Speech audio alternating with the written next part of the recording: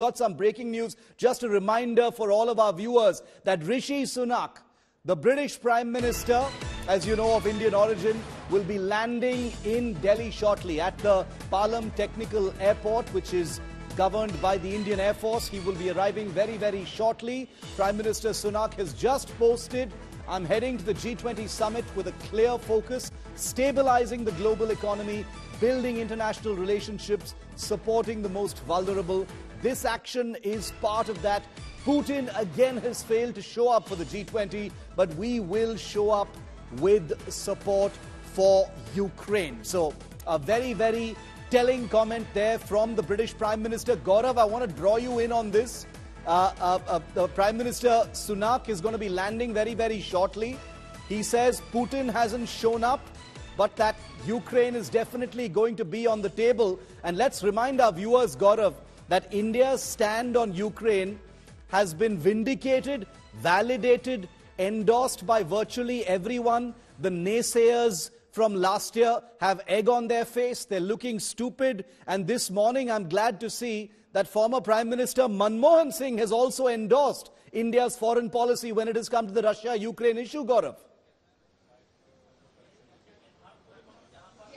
Shiv, you're absolutely right. You'd recall uh, External Affairs Minister Dr. S. Jaishankar had actually told the world that Europe can no longer think that Europe's problems are the world's problems or the world's problems are not Europe's problems. Prime Minister Narendra Modi had also made it very clear in fact, in, in his conversations with the Russian President Vladimir Putin, that this is not an era for war. India has been talking about peace, negotiations and dialogue.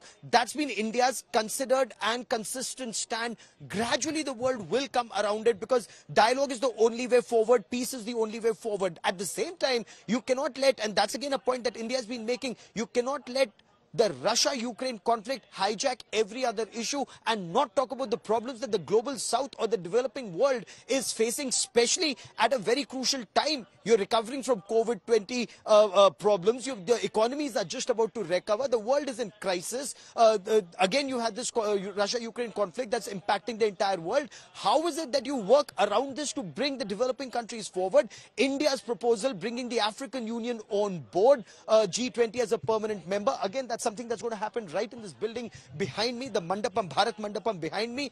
That is a genuine step that goes a long way in bringing, in taking Africa along, the entire African, uh, you know, Union along to ensure that the benefits of, of economy or economic progress uh, are, are, are shared by everyone. If debt is a huge crisis in developing countries, what yes. debt restructuring uh, can, can the banks do to ensure that developing countries benefit? Again, Shiv, the digital platform that we are talking about, you and I have experienced it. Our country has experienced it. Remember, there were naysayers in our own country saying which which vegetable vendor will be able to charge his mobile phone or take money through yeah, Paytm or take money through yeah. UPI or the BHIM app. India has actually done it and shown the world, Shiv.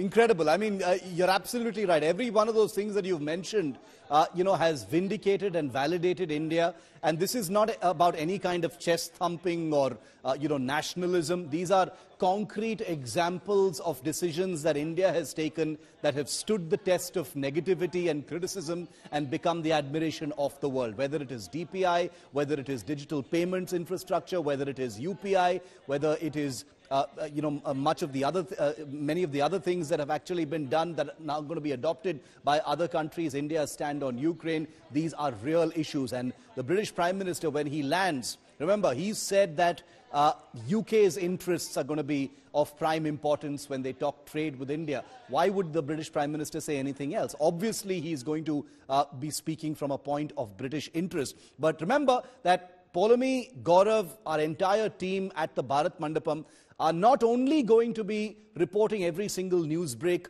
uh, from the G20 talks, the bilaterals, the outcomes and the news breaks, but also the amazing sidelights, the body language, the the, the, the, tone and tenor of the relationships that are going to be forged uh, during this G20 summit. And remember, the British Prime Minister, when he lands, all those meetings are going to happen. He's also going to be visiting the Akshardham temple, Poulomi, we understand, uh, and Humayun's tomb perhaps as well.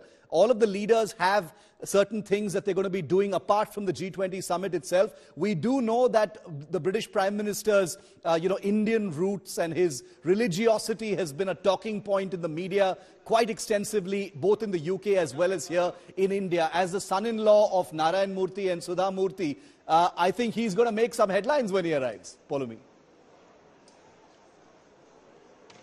Oh, absolutely. Um, you know, the family uh, is uh, waiting with bated breath. In fact, uh, uh you know, there's a full Punjabi uh, celebration uh, which has been put together by the family which resides over here and has come from other parts of the country as well in order to welcome Rishi Sunak. And yes, he might have, like other dignitaries, might have some programs on the side as well. Um, as they, of course, spend these couple of days in New Delhi, they might, Rishi Sunak could quite possibly visit the Akshardham uh, temple as well. But just a small update, uh, Shiv, uh, if we can just uh, pull that up uh, for our viewers right now.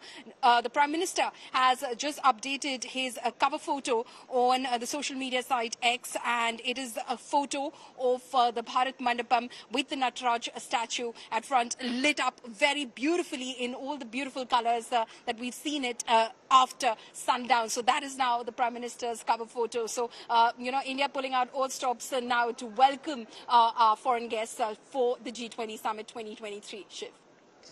Poulomi, stay with me. Very, very interested in that because remember that at international summits of this kind, it's not just what's being said across the table, it's what's being said off camera, in one on ones, the body language, the relationships and friendships that will go down a long way, trickle down to the officials and the contingents, and really make relationships between all of these countries that much stronger. And India is at the head of the table. That makes a huge difference. Now, let's tell you a little bit more. The top heads of state from across the world are set to converge. They've already started to arrive in the national capital. US President Joe Biden is in the air right now. He's departed for Delhi uh, from the Ramstein Air Base in Germany to will be attending will be landing at the VIP terminal, the Palam technical area just very shortly. Prime Minister Modi and the US President their bilateral talks will be taking place tonight, soon after the latter arrives in Delhi. He's expected to la land at about 7 p.m. Progress on the deal to jointly manufacture jet engines in India, the purchase of a $3.1 billion deal for MQ-9B armed drones, civil nuclear energy technology, trade, climate, all of those are going to be topping the agenda for the Prime Minister and the President. Remember, both Prime Minister Modi and President Biden are heading into crucial elections for both. In addition to, uh, to what I've just said, sources suggest that the Prime Minister will be holding bilateral meetings with leaders of the UK, Prime Minister Sunak, Japan, Germany, and Italy. On the 10th of September, the Prime Minister will hold, hold a working lunch meeting with President Emmanuel Macron of France. UK Prime Minister Rishi Sunak is scheduled to arrive, like I told you, very shortly. He will be received by Minister of State for Consumer Affairs, Ashwini Kumar Choubey. Meanwhile, several leaders and delegates, including President of Argentina, Italian Prime Minister Meloni, the Nigerian President, Mauritian Prime Minister, the IMF's Managing Director, and the EU Commission President have already arrived in India. One thing I would note, because I got the question couple of times in the press briefing room about China and you know, the fact that Xi Jinping is not coming, whether they would play spoiler and so forth. I'm not going to handicap what will happen at this summit in that regard, but I would point out that if you look at the hosts of the G20 over the next few years, we have India this year, Brazil next year, South Africa the following year, and then the United States. And I think along with those three country, countries, India, Brazil, and South Africa, the U.S. has a deep stake in stewarding the G20 and making sure that it remains a central mechanism for global coordination on all the major challenges we face. And I think over the course of the weekend, you'll see opportunities uh, for us to reflect that. Uh, the other thing I would say is that tomorrow the president will be meeting with Prime Minister Modi it will be an opportunity to follow up on Prime Minister Modi's visit to the United States. And we will see meaningful progress on a number of issues, including the GE jet engine issue, the MQ 9 Reapers, on 5G, 6G, on collaboration on critical and emerging technologies, and progress also in the civil nuclear area as well. So we will mark all of that progress when the two of them meet tomorrow, which shows the breadth of the relationship between our countries. Of course, President Biden will also speak on uh, critical fundamental values that the United States stands for, as he does in all of his engagements. Continuing to advance the U.S. India relationship will be a priority this week. We highly value our bilateral relationship with India. In fact, this is my fourth time in India over the last year, making it the country I visited most frequently as Treasury Secretary. We also welcomed Prime Minister Modi to the U.S. in June.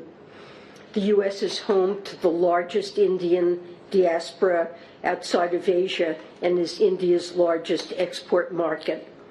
Expanding our bilateral economic ties and our cooperation on global challenges is crucially important to us. I don't think that this G20 will resolve in two days all the problems of the world and all the challenges of the world.